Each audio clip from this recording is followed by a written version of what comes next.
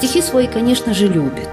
Ну, как можно не любить то, что ты написал, да, это, это, это понимаете, это э, такое вот кокетство, когда говорят, что я там, я ненавижу свои стихи, и терпеть не могу их читать, это не верьте этому, это неправда, вот, это когда человек так говорит, он ждет, что ему скажут, что ну да что вы, да пожалуйста, вот, и, вот, нет, на самом деле это нормально, конечно же, ну как мы можем не любить своих детей, мы любим свои стихи, вот, и, соответственно, рады, когда они близко к сердцу другим людям созвучны становятся, рады, когда их слушают. Я это к чему говорю? К тому, что если автору дать волю, он будет читать и читать, и читать. Вот. Но, вот. Хотя автору, конечно, совесть надо знать. Поэтому, если давайте мы будем делать маленькие перерывы, вот если вы захотите у меня что-нибудь спросить, вдруг, вот, то, пожалуйста, если вы захотите спросить, и если я смогу ответить, скажем так, вот, то я это, конечно, сделаю. Вот, чтобы у нас не было чего-то такого типа там пионерского собрания, что читал человек, читал, потом вопросы есть, вопросов нет. Вот, все, спасибо, до свидания. Вот, ну а затем давайте тогда э, начнем читать. Да, еще хочу сразу извиниться, поскольку я не так часто выступаю, э, и я работающий человек, да, я не могу держать свои стихи в голове, я вообще свои стихи помню крайне плохо.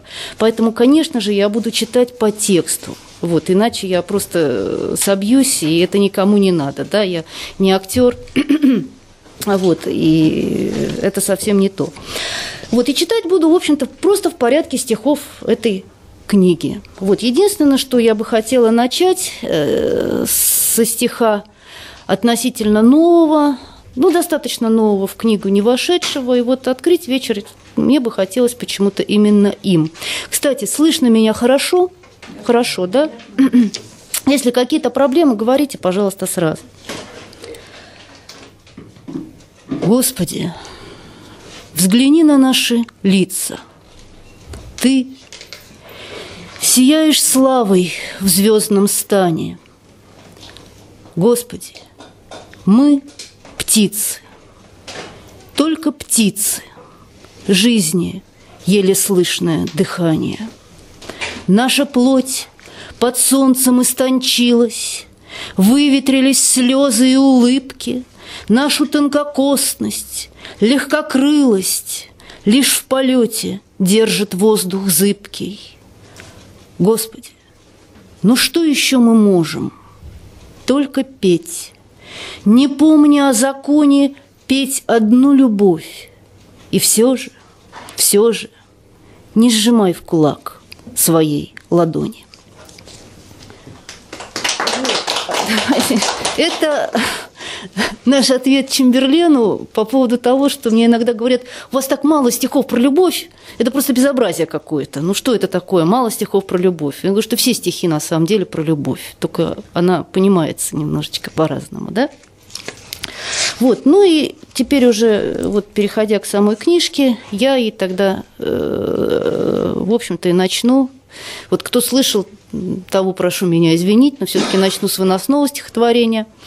Вот. Да, кстати, если мало ли кто-то вдруг что-то захочет сам, чтобы я прочитала, вот если кто-то, у кого книжка есть, и он читал, он захочет вот это послушать, пожалуйста, говорите, я найду и прочитаю. Не печалься, душа, среди русских воспетых полей и чухонских болот – пустырей обреченного града ничего не страшись, о сиротстве своем не жалей, ни о чем не жалей, ни пощады не жди, ни награды. Нас никто не обязан любить. Нам никто ничего в холодеющем мире, конечно, не должен. И все же не печалься, душа, не сбивайся с пути своего, Беспокойным огнем ледяную пустыню тревожа, Согревая пространство с собою всему вопреки, Предпочтя бесконечность свободы законом и сроком, На крыло подымаясь, над гладью последней реки, раскаляясь любовью в полете слепом и высоком. Ну, давайте я вот сначала просто почитаю, да, а потом вы мне похлопаете, я буду очень рада. Вот, Э, тогда вот несколько стихотворений из первой книжки. Первая книжка называлась «Бубенцы», вышла она в 98 году, вот достаточно таким оригинальным и неожиданным образом. Ну вот из нее и почитаем немножечко. То есть это, вообще говоря, эти стихи, которые в этой книжке были, э, в книжке 98 -го года, это на самом деле очень юные стихи достаточно. То есть они не были написаны, скажем так, все в конце 90-х годов. Это были стихи разных лет, и в основном даже вот конца 80-х, начала 90-х. Просто я э, никогда их не публиковала нигде. А у нее проточена на лбу такая белая, и челка золотая. Я в поводу веду ее в табун, Под сапогами чавкает густая, как тесто глина. Где-то в стороне урчит сердито трактор, И усталость к ее хребтистой старческой спине Присохла словно струп. А мне осталось уздечку снять, по шее потрепать и постоять еще минуту рядом. В кармане корку хлеба отыскать и протянуть ей, и окинуть взглядом больные ноги, вислую губу и тощих ребер выпуклые строки, и белую проточину на лбу, и под глазами мутные потеки.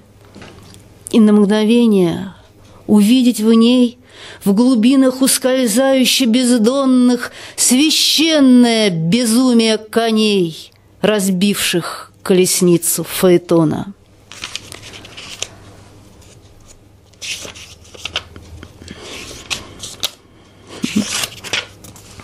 Ну вот из этой же книжки. Далекое лето, то самое лето, где ты улыбаешься мне не с портрета, Где слезы легки без хмельного надрыва, Где все наши лица беспечно красивы, Где платья еще не потрачены молью, Где сердце еще не измучено болью, Где живы друзья и прекрасное лето Улыбками юности нашей согрето, Где мысли о вечном вполне романтичны, Где все мы талантливы, и необычны, где нынче проводят, а завтра встречают, где поют на кухне портвейном и чаем, где лодки качели до неба взлетают, и все телефоны еще отвечают, где с легкой душой говорят «до свидания», где нет безнадежно последних прощаний, где все мы не ведаем нашего часа, где в комнатах смеха остались гримасы, где слушали Цоя и шибку курили, и то, что имели, совсем не хранили, где в ЦПКО катерок на причале, где много надежды и мало печали, где всем по пути, где манит неизвестность и путник не знает, что путь его крестный. Ну вот прочитаю я стихотворение, которое я обычно не читаю на вечерах, ну вот попытаюсь. Называется оно «Ноябрьский сон». Сразу э, пояснение, почему я его обычно не читаю. Потому что оно требует некоторого пояснения. Разговор, вы знаете, что такое разговор? Вот не в плане того, чтобы вы знаете, что такое разговор на одежде – не знаете.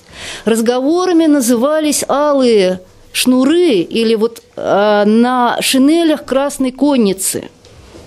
Вот если вы помните картинки, да, кто, ну, кто старше точно знает, кто помоложе, может быть, не очень этим интересовался, когда изображают конницу Буденного, да, вот во всей своей красе, в кавалерийских шинелях длинных, вот то, что у них на груди вот эти вот алые полосы, вот они назывались разговорами – вот, они назывались...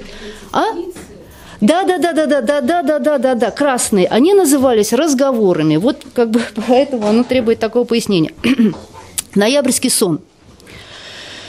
седьмому выпал снег, и все дома прикрыли срам облупленных фасадов. Уже не осень, но и не зима, нет имени сезону, и не надо. Лишь выпал снег, и стихли все шаги, и замерли, почти исчезли звуки, и помертвевшие улицы изгиб застыл в безмолвной судороге муки, и в непривычной, жуткой тишине без времени, огромной свинцовой, проходит демонстрация теней по бесконечной слякоти дворцовой, идет парад — и бронетранспортер бесшумно тянет длинную ракету. Проходит конница, и алый разговор Мешается с блестящим эполетом. Ударники ушедшего труда и нищие проносят транспаранты И движутся вперед, вперед. Куда? Туда же, куда барышни и франты, Как Богу Теодиция нужна не для себя, для грешников, быть может. Снег нужен ноябрю. И он сполна отсыплет, убелит, но потревожит тот странный, чуткий и бездонный сон, натянутые до предела струны, звенящую тугую связь времен и вечностью начертанные руны. Ну и вот из этой книжки, наверное, последнее стихотворение, а дальше бы время, ну вот все-таки все-таки прочитаю.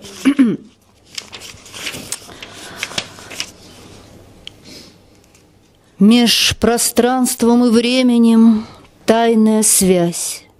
Кто нарушит эту тонкую нить, потеряет себя и свой кров, И бескрайняя степь, обожженную, выветрит душу В бесконечном пути сквозь печальную сказку ветров.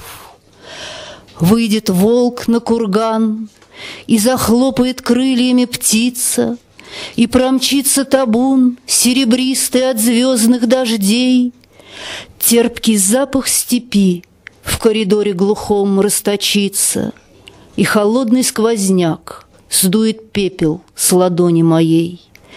Из бездонности времени плач или странное пение, чей-то голос «прощай», чей-то голос в ответ «не забудь». И полетом стрелы обернется чужое мгновение, И на вылет пробьет, и собою украсит мне грудь, И пригнется ковыль, и закружат в немом хороводе мириады огней на высоком, на млечном пути. Так исходят с ума, исчезают, навеки уходят, при создании мира себя в переплавку пустив. Ну вот следующим, спасибо, следующая была книжка жизни да, вопрос, пожалуйста. Нет, у меня не вопрос, у меня вот э, не могли бы вы прочитать э, я хочу купить себе розу. Так, я хочу купить себе розу. Это у нас книжки какой? Сейчас поищем ее. Нет, это не последняя. Сейчас, конечно, могу, конечно, могу. Она, по-моему, из геометрии свободы. Я уж... Дело в том, что я говорю, что я есть такая. Ну, давайте я ее сразу тогда и прочитаю. Она из геометрии свободы. С удовольствием. Сейчас. Я хочу купить розу. Хочу купить розу, как будто желаю дать шанс больному рабу. Просто шанс умереть на свободе. Хочу купить розу, но каждый раз что-то не так. Не то, что нет денег, не то, что последние деньги, но просто есть множество необходимых вещей. Так много вещей.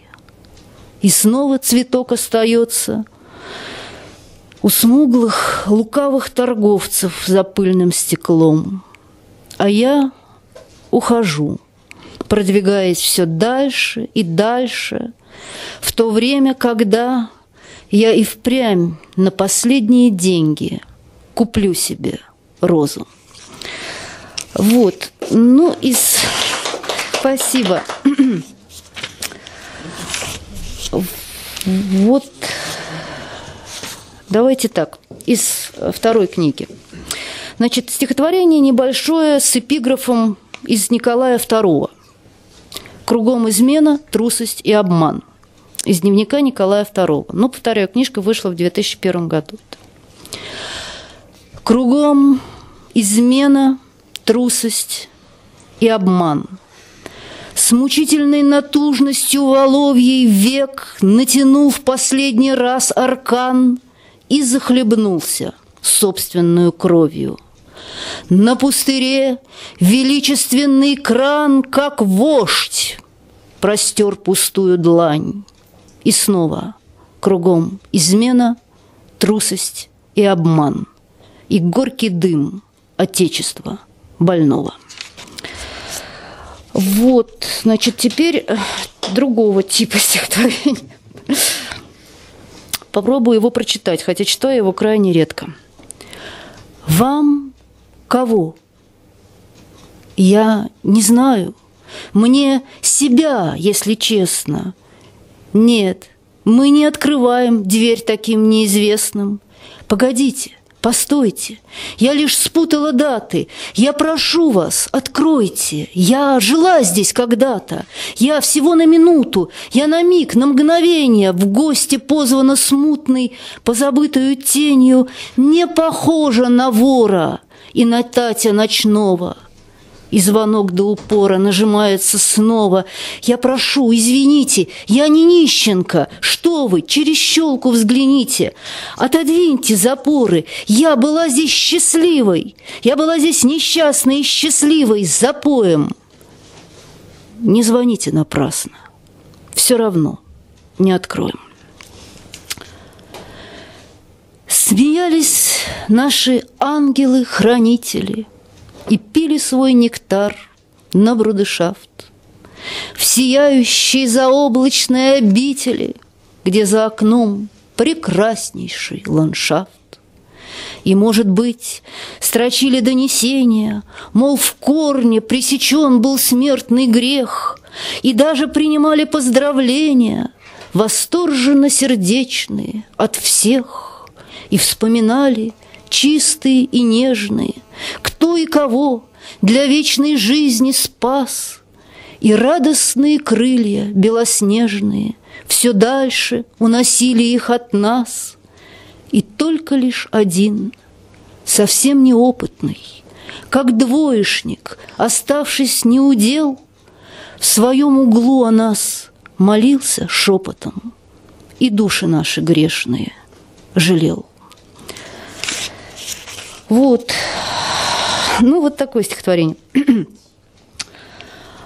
А по такой погоде только пить и о пропавшей жизни тихо плакать, и бормотать, что под крещение слякать лишь только в наказание может быть, мешать в стакане пьяную слезу с какой-нибудь дешевой горькой дрянью, пить за любовь, прощение и прощание, за каждое бревно в своем глазу и морщиться, и, наконец, устать от самого себя безмерно, страшно, сегодняшний день спутать со вчерашним с чертовщиной ангельскую рать, а утром еле веки разлепить, зевая потащиться на работу в автобусе, пихнуть локтем кого-то и злобно буркнуть надо меньше пить.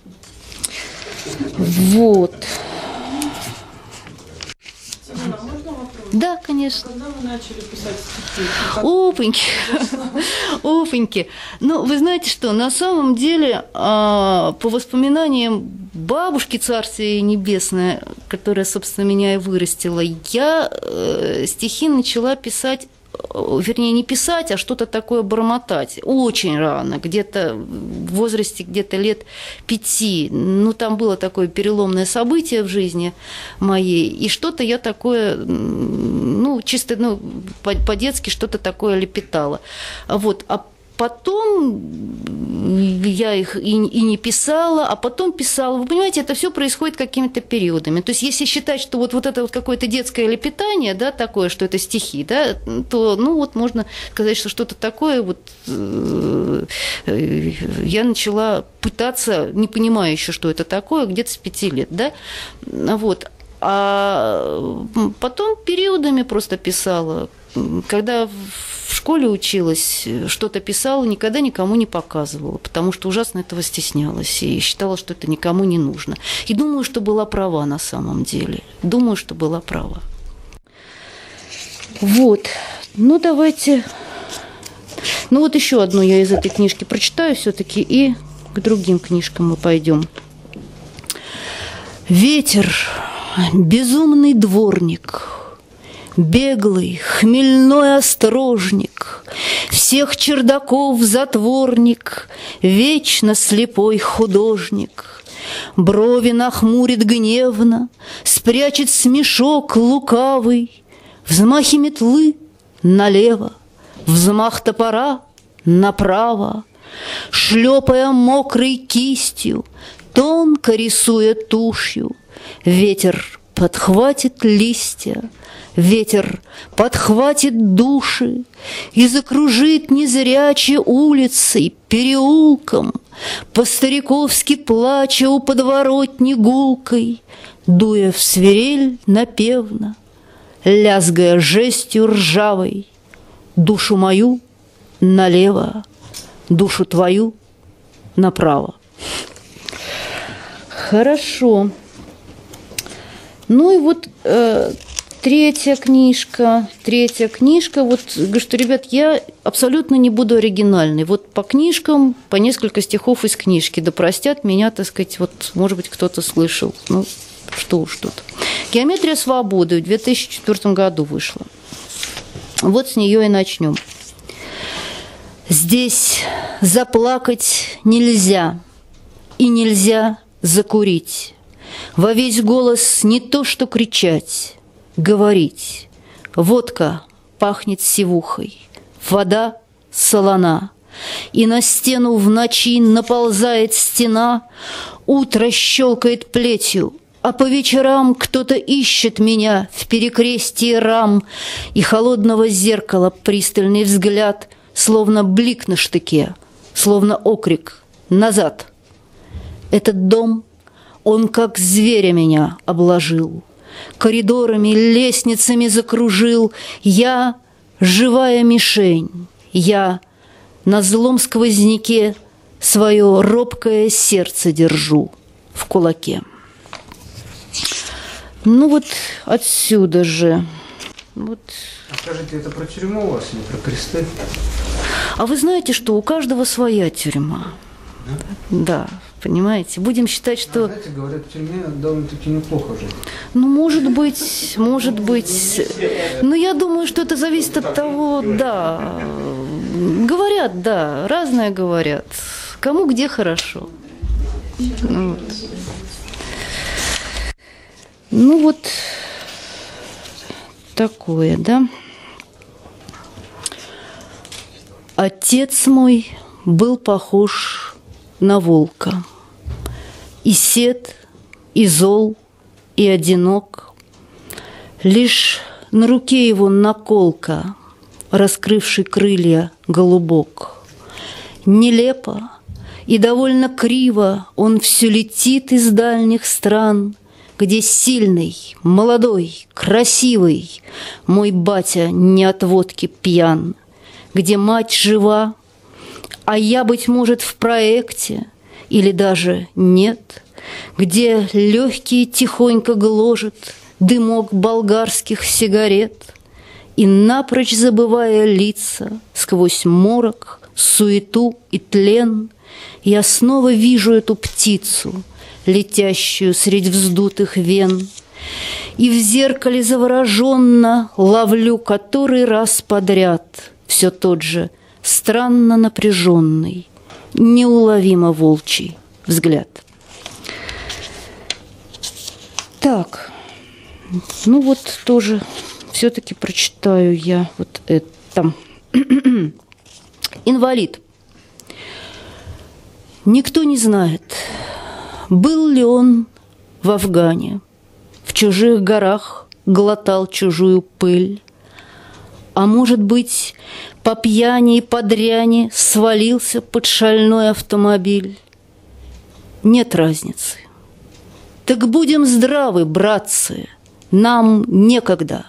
Мы, взглядами скользя, шагаем по стране, где зарекаться ни от сумы, ни от тюрьмы нельзя. А... Стихотворение с эпиграфом из Виктора Сосноры «Подари мне еще десять лет, десять лет, да в степи, да в седле». Виктор Соснора «Обращение». Все спокойней, ровнее и тише дышит полдень, И солнцем прошит сизоватый бурьян прииртышья, Под копытами сухо шуршит. А каких я кровей, так ли важно, Раскаленной степной синеве?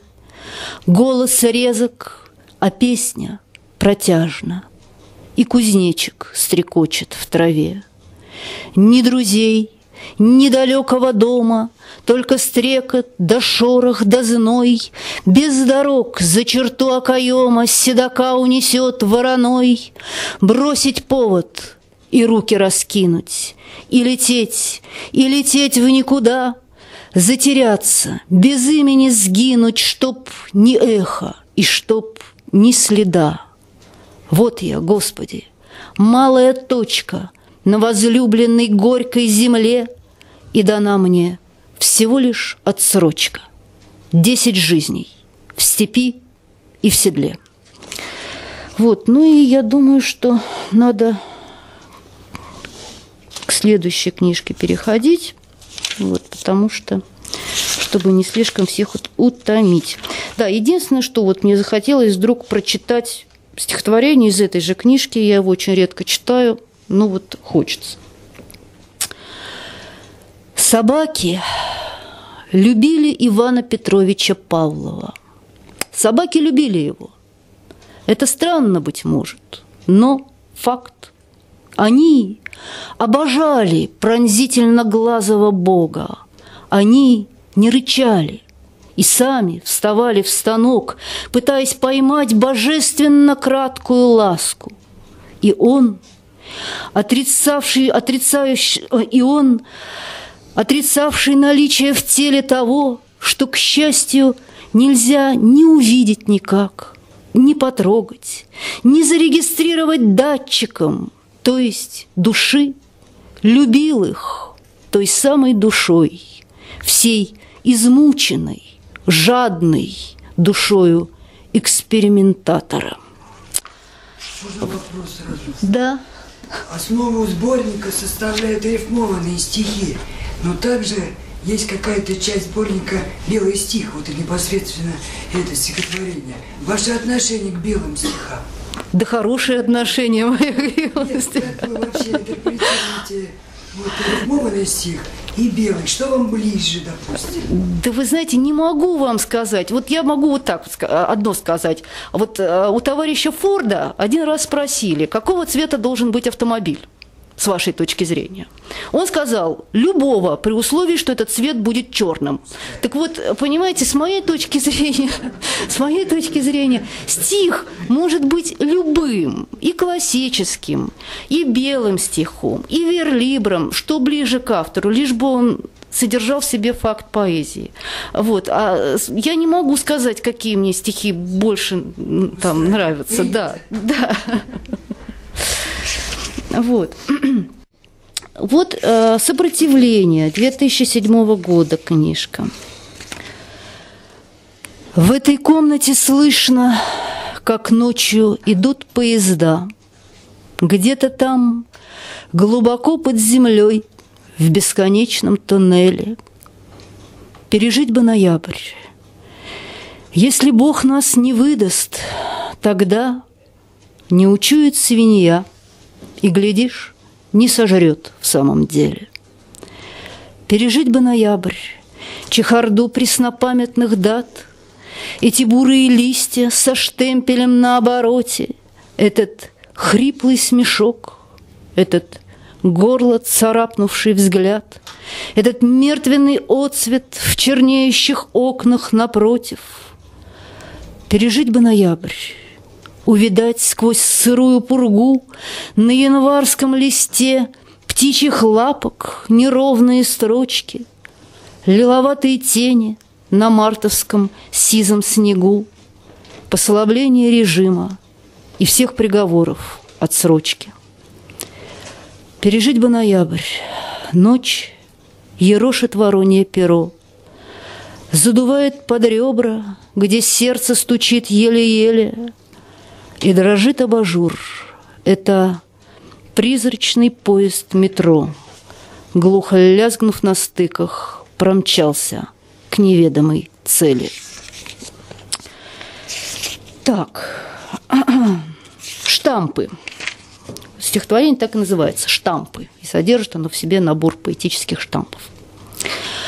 Что поделать нам все же к славе Господа вящей, С неумытою рожей и душою болящей, С этой песней несложной о лихом атамане, С горькой пылью дорожной, да дырою в кармане, С этим ножичком вострым, да с конем в чистом поле, С балаганчиком пестрым, с бесприютностью воли, С воровскую повадкой, да со щучьим велением, Да с конфеткой помадкой, да с дурным умилением, С этой пьянкой-гулянкой, с этой кровью-любовью, Да судьбою обманкой, да свечой в изголовье, С этой темную ночкой, с этим темным перроном, И с последнюю строчкой, и с последним патроном, С резким посвистом ветра, с резким посвистом птицы, Всем,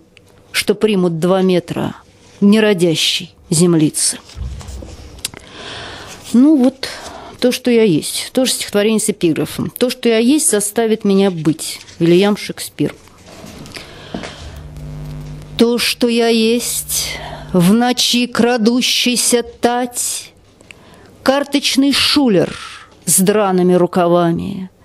То, что я есть, заставляет меня хохотать, Петь, исходить рифмованными словами – то, что я есть, колпаком дурацким звеня, Пляшет на самом краю карниза.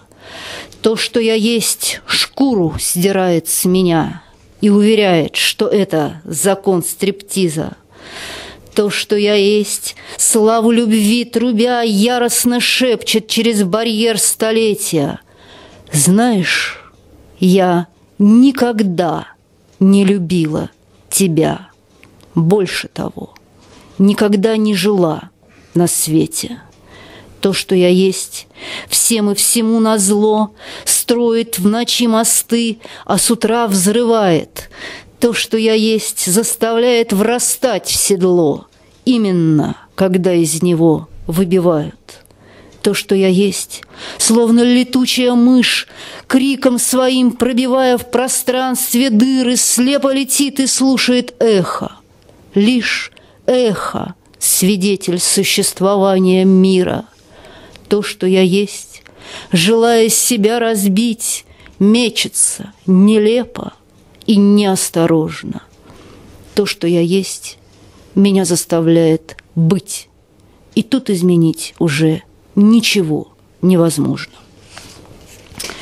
Ну, давайте, чтобы вот эти рифмованные вещи немножечко перебить. Вот, да. Э, по, по сборнику там ну, много стихов, в котором вот тема на всадника, наездника. Ну так еще бы, я всю жизнь сознательно лошадьми занимаюсь. Они мне близки, они мне близки и дороги.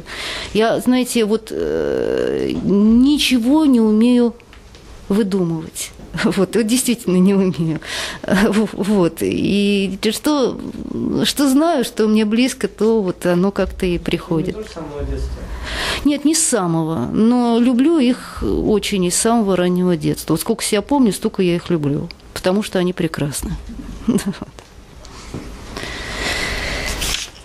Так, ну вот давайте я прочитаю нерифмованное стихотворение – тянут довольно Ну, рифму.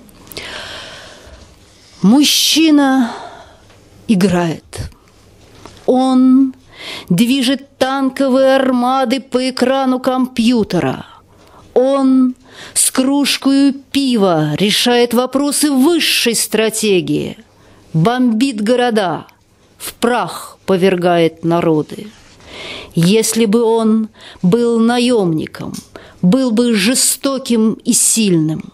Если бы он убивал, насиловал, грабил, если бы он сам был в итоге убит, разбрызгал бы собственный мозг, смешал кровь свою и чужую, тогда ты увидел бы, Господи, ты бы простил, если бы он выжил раскаялся, ушел, например, в монастырь, с плотью боролся, молился, а после умер в схеме строжайшей, тогда ты увидел бы, Господи, ты бы точно простил, если бы он выжил, стал нищим, демонстрировал раны и язвы, мерзко нудил, подайте на хлеб ветерану, а после в струпьях и в шах сдох – какой-нибудь дрянью опившись, тогда ты увидел бы, Господи, думаю, ты бы простил, если бы он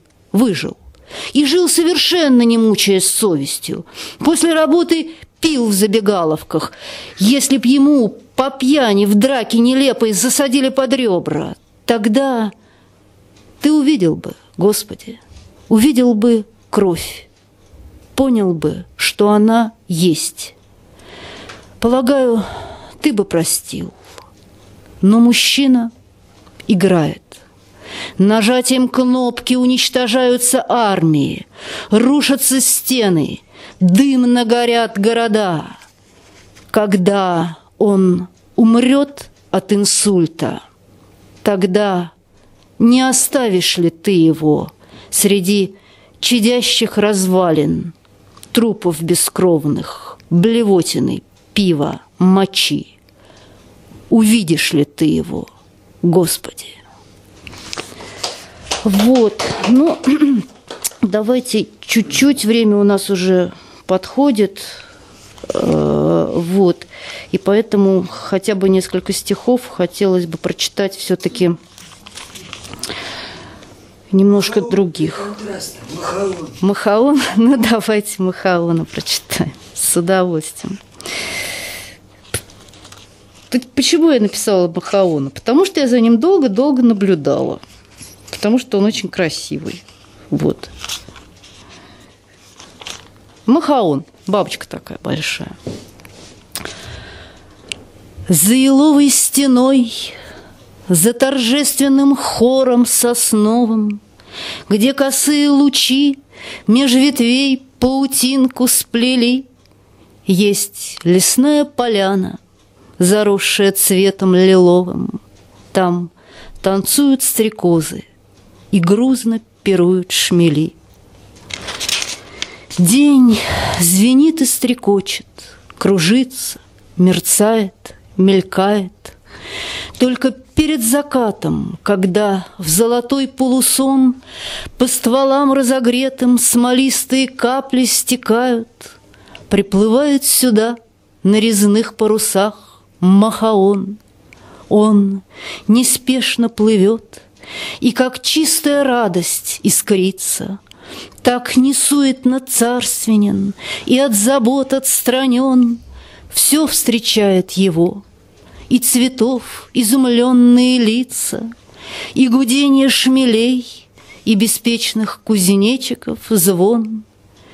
С каждым вздохом крыла Отлетает он выше и выше, Свет вечерний дрожит Над моим неподвижным плечом, И взрывается время, Мешая небывшее с бывшим. И душа вспоминает и не понимает, о чем. Вот. Ну, э, давайте я вас немножечко времени мало, но все-таки э, все-таки я вас посмешу хроникой одного вечера. Не, ну, не то, что посмешу, это более меня такое юмористическое стихотворение, хотя содержит в себе, так сказать, э, полную правду на самом деле. Называется оно «Хроника одного вечера». То есть вот буквально хроника, оно, так сказать, полная правда. Стих подпирал. Он должен был явиться. Он был готов к рождению вполне. Как всякой божьей твари угнездиться для оной цели нужно было мне. Домой нельзя. Там оседлают сходу. Но не беда. Полно кафе окрест. Зашла в одно, а там полно народу. И все едят. И нет свободных мест. В другом невыносимо, беспрестанно гремел динамик, слух терзая мой, а третье было мне не по карману. Я плюнула и побрела домой. На кухне звон и резкий виск соседки, а в комнате счастливый телесон. И, пометавшись, будто волк по клетке, я потихоньку выскользнула вон. На набережной села на ступени, но, видно, неудачен был момент. И страж порядка, полный подозрений, навис и попросил мой документ. Ну что ж, с собой паспорт, слава богу всмотрелся. Криминала не нашел. Сижу, пишу. Взглянул довольно строго, но разрешил. И с важностью ушел. И снова я распутываю нити, хватаю ускользающий кураж. Вдруг чей-то голос «Выпить не хотите?» И пальцы выпускают карандаш. Оглядываюсь.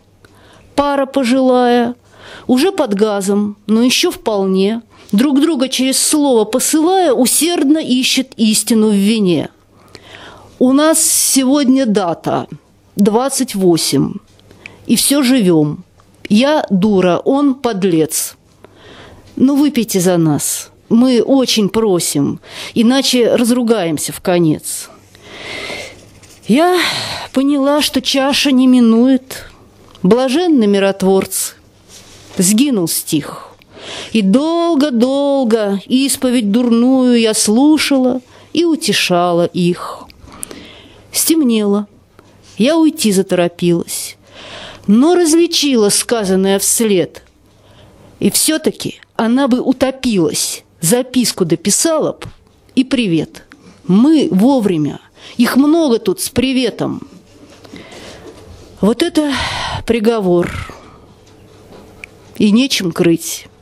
Ведь если я могу не быть поэтом, то кем угодно я могу не быть. Вот. Ну и вот под конец давайте все-таки я... Э, времени у нас уже 5 минут всего осталось до 6 часов. Вот. Я предупреждала, да, что каждый поэт вот такой негодяй. Читает, читает, читает,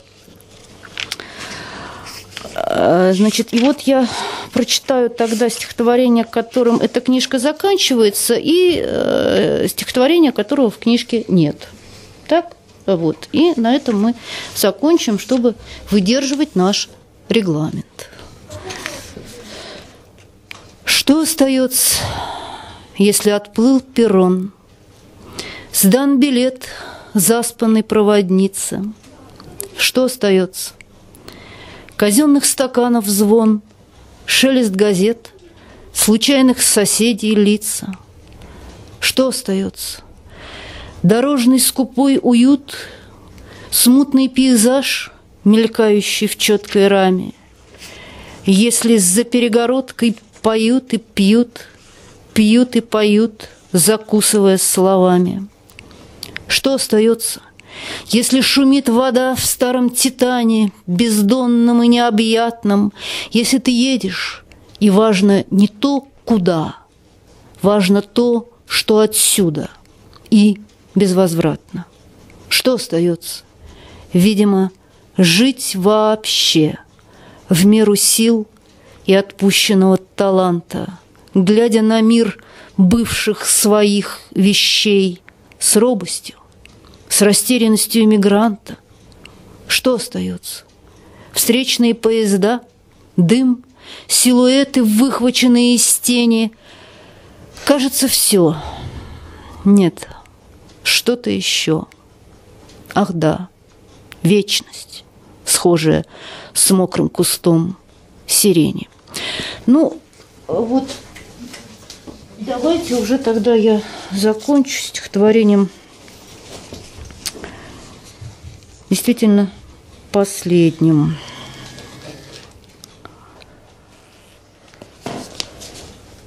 Так, так хочется настроить эту жизнь. Она же ускользает, не дается. Все что-то в ней болит, мерцает, бьется, мелькают лица, даты, этажи. Все слышится то пение, то плач, то резкий смех, то электрички дальний тревожный свист, все яростней скрипач, а голоса все выше и хрустальней. Вот зимний лес, и синяя лыжня с разгону огибает куст ольховый, И куст тихонько кружится, звеня смолистыми сережками. И снова летят огни, грохочет переезд, Но с каждым днем все резче и свободней Тень фонаря, похожая на крест, Качается у самой подворотни. Звучат единой музыкой шаги, и лязг замка, и звяканье цепочки, и шум дождя, и голоса пурги, и выдох распускающейся почки, и все вокруг меняется, спешит, смысл обретая в каждой переменной, где звук со светом неразрывно сшит, и дирижер слепой и вдохновенный, из темноты прорвавшись ледяной, парит над партитурой раскаленной, и каждый миг гармонией иной взрывается оркестр ошеломленный. Вот. Спасибо вам.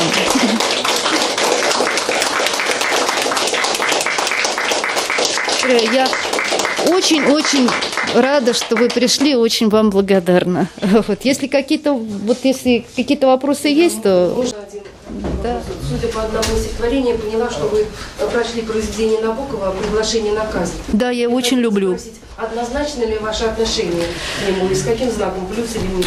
Вы знаете, я очень люблю это произведение. Не по каким, не по каким идейным, в общем-то, соображениям, а я его просто люблю и все.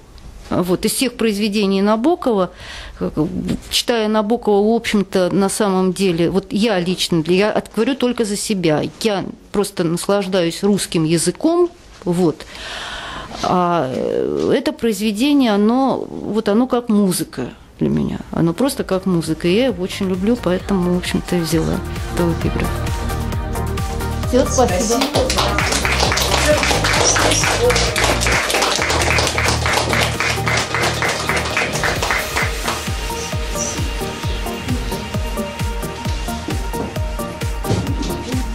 Сейчас мы сделаем небольшой перерыв.